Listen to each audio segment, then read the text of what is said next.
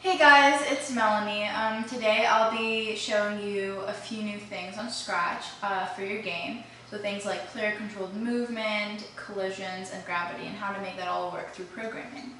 So uh, the first thing we're going to talk about is player controlled movement. So you're actually going to start coding your game right now. We're going to start with an event block. So we're going to have the one click block first under events. When you click this flag up here, whatever it says under the code um, embedded in one click, that's what's going to happen.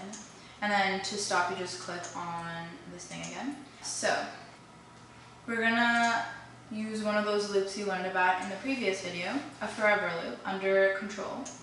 And you're gonna have two if statements within this loop. If uh, two if then statements. So basically what you're going to do is you're going to find a way to make it so that the user can interact through the keyboard. So what you'll do is you'll have if one key is pressed, if the right key is pressed, then one thing will happen, and if the left key is pressed, then another thing will happen. So if the right arrow is pressed, you're going to go into motion. So basically if you click the right arrow, your sprite is going to move 90 degrees get into its next costume and move a variable amount of steps, uh, the variable being speed. So you're going to have point in direction 90 degrees, then you go into looks because this is going to be a graphical animation, basically uh, next costume. And then you're going to have move, and then you're actually going to be making a variable called speed. It's already been set up, but basically you make variables and you'd want it to be just for this right only. So you have speed, you put it in here. And then you basically just replicate the entire thing with a few slight differences if you click on the left key. So that's, again, under sensing. And that's how the player interacts with the game through the keyboard, basically. So now you'll have your left arrow, and again, you'll have point in direction, except for now it'll be negative 90. Instead of going to the right, you'll be going to the left. Again, you'll have next costume, and then you'll have move, once again, speed steps. Okay, so now you're going to make a new costume for your sprite. And how you do this is you go from scripts uh, up here, you can click onto costumes and it shifts gears as long as your sprite is selected. So see how it's on the sprite right now and you're fished. You right click over your sprite and click duplicate and then you can basically use these controls to do whatever you want. So if I want to color in the fins and change them from like, let's say purple to dark aqua blue, so it kind of blends in with the ocean and just draw some patterns you can go ahead and do whatever you want. And you can get creative with this. This is the kind of graphic design component, so have fun with it. And that's my little design, but it's a little subtle, but anyway. Yeah.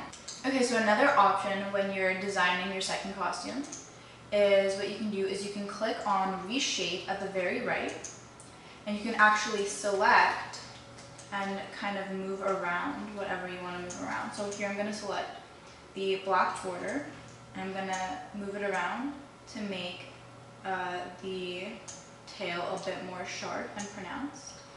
And you can really have fun with this and do whatever you want. Um, so basically it just works by color recognition. Yeah. Okay, so now we're going to test out your code so you can actually see what your code is doing.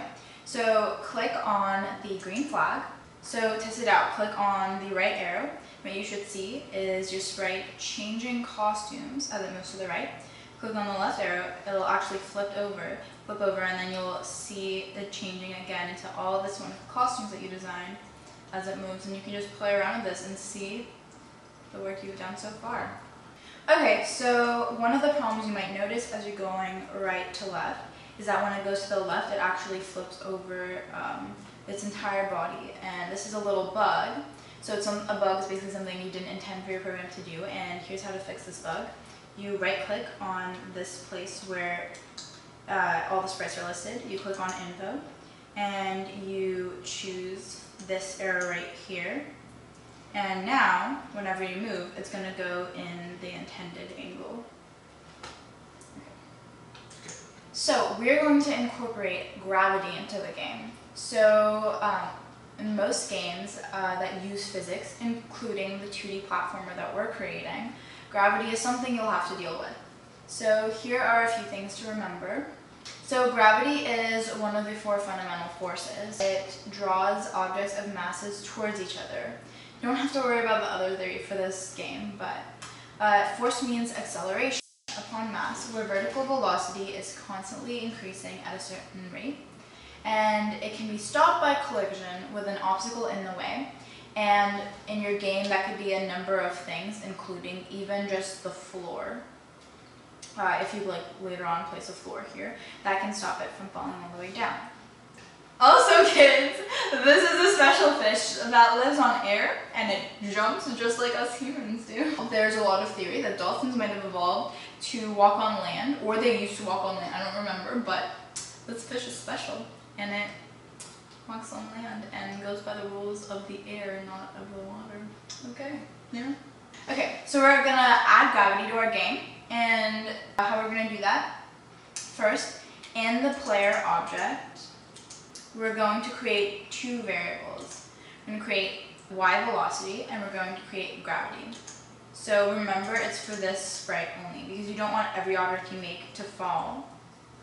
So you'll make gravity and y velocity.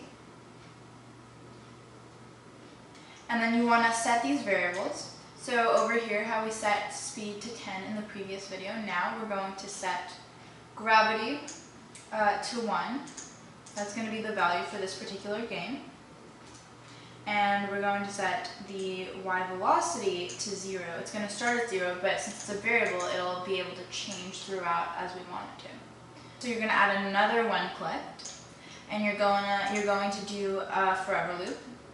So that basically when this green flag is clicked, this will always happen as long as it is clicked, just constantly over and over you're going to go into data, you're going to change the y velocity